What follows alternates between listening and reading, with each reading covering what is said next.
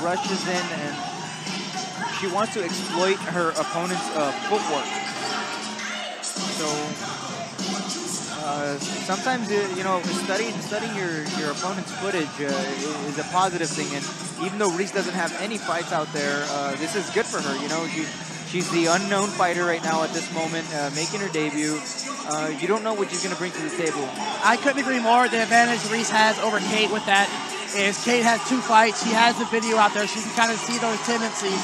Whereas Reese has nothing out there. And Reese took this fight on a two-week notice. I do want to say Reese took this on a two-week notice, so no time to even do research. So it's going to be kind of interesting to see how Reese comes out here. She says she's a grappler.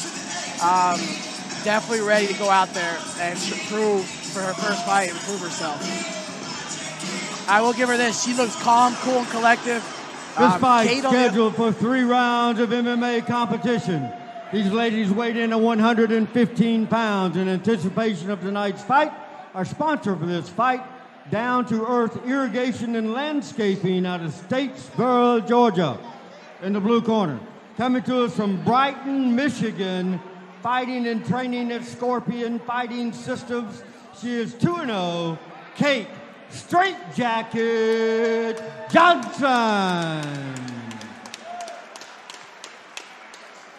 And in the red corner from Beaufort, South Carolina, fighting and training at Beaufort MMA. This is her fight debut. Please welcome Reese Allen. Referee for this fight, Jimmy Neely. First girl fight of the night. Let's see how this goes. Girls fight are always amazing. I bet these girls are about to put on a show.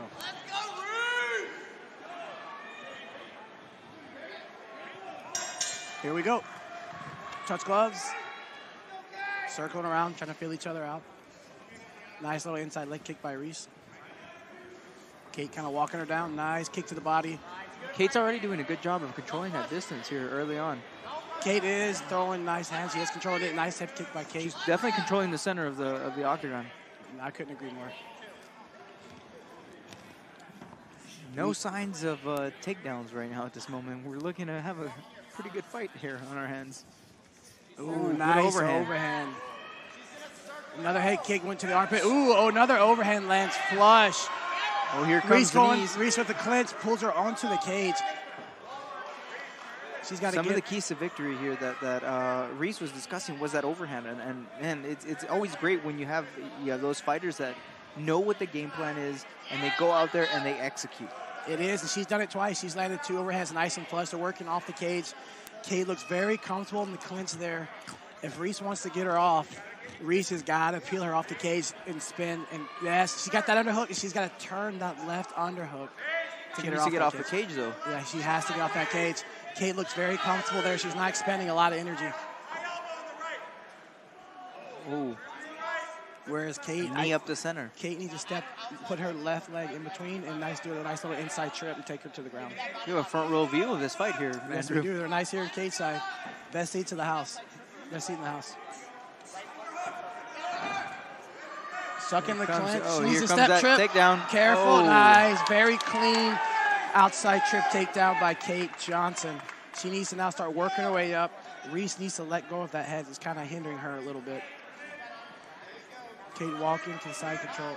So, um, Kate Johnson said that she really enjoys the rear naked choke, uh, and it looks like she's trying to get a little bit of back position. Oh, no, never mind. Yeah, Reese is holding on to that leg for dear life. Kate's got to get that left leg free and start working towards the head. Now the leg's free. Reese does a great job of getting her half guard back. Now she needs to let go of that head, start creating some space, get her full guard. Ooh, nice knees from the bottom. Kate Johnson would uh, benefit from uh, pushing pushing the hip down, getting a better position there. She's Yeah. expending a lot of energy right now trying to pull Reese in. I agree. She's doing a good job of controlling the head, but she needs to work and progress forward. She got the side control. Now she needs to start working to the mount. She comes, she can push that knee down. She might be able to get a better position. One thing I will say is Reese is not taking, being in the positions in, Reese is not taking a lot of punishment. Kate's yeah, doing a but lot she's being obstructed of her breathing right now. It's not it's not a lock, but she's losing some breath there uh, in that position. Yeah, definitely a great first round for Kate Johnson. Uh, Reese landed those two great overhands, but once it went to the ground, it was all Kate Johnson controlling the, the fight. What would you say the keys of the key for Reese Allen for the next round? Reese, Reese needs to stick to that overhand. Uh, obviously, the cage isn't a good spot for her. So if she could keep pumping that uh, outside work and, and, keep keep her on the outside, stay away from the cage, uh, maybe control the center of the cage a little bit uh, uh, more, she, she might have a chance here of stealing the second, third round. No, I, I agree. I mean, it's just the first round, so she still has two more rounds. She needs to utilize that overhand, but when she does get in those clinch situations, she's got to create the space and work her way off the cage because clearly Kate has the advantage there, working on the ground and working off the cage, so she's got to keep her back off that cage.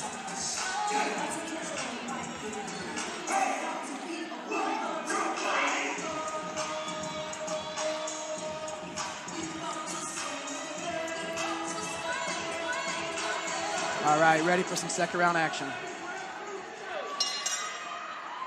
Reese seems to be breathing a little heavy there.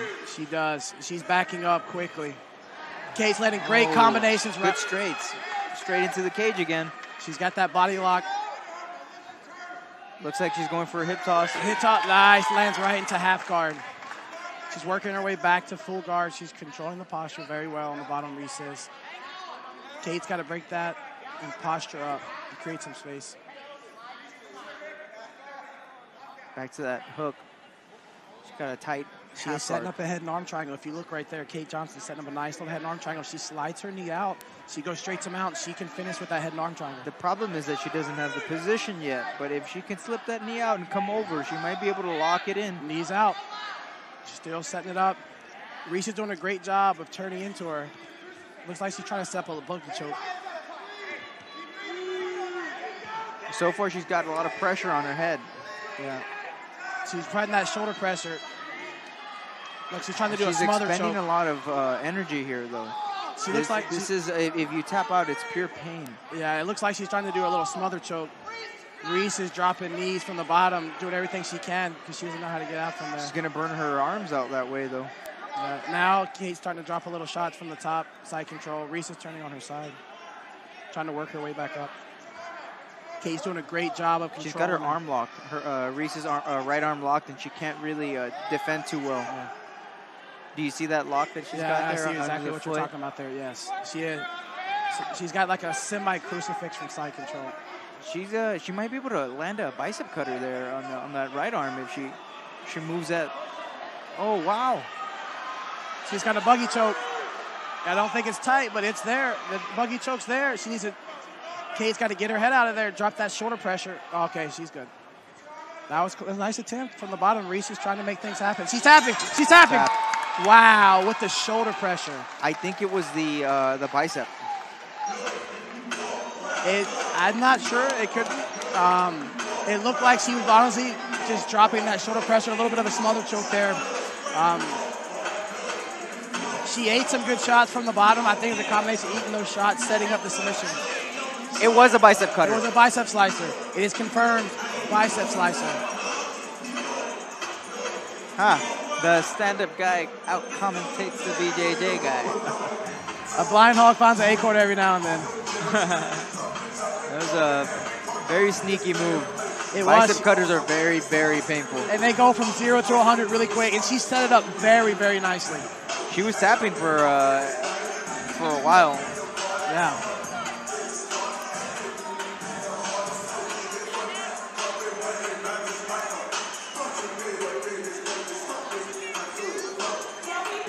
Kate Johnson moves to 3 0 with a nice submission. It wasn't a rear naked choke she was looking for, but really nice, smooth bicep slicer from Kate Johnson. And kudos to Reese Allen getting in there for her first fight. She landed some really good overhand rights, but in the end, it came down to Kate Johnson's wrestling and her jiu jitsu that brought her home her third victory.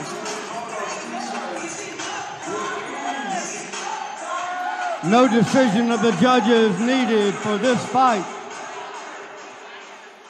No decision of the judges needed in this fight. At two minutes, one second of the second round, referee Jimmy Neely stops the fight with a bicep slicer winning the fight for Kate Straight Jacket Johnson. Great victory for the straight jacket. I agree. Uh, that's not a very easy submission to pull off there, uh, especially at this level. It's not, and she set it up very nicely. It was there for a while. Now, I'm, I'm curious if she was setting it up the whole time, or she just happened to, one of those submissions she's happened to fell into. She saw it was there. But great job by Kate Johnson. Guys, super excited. Next on the card, we have Trent Creek versus Brady Rivera for the first ever combat jiu-jitsu fight.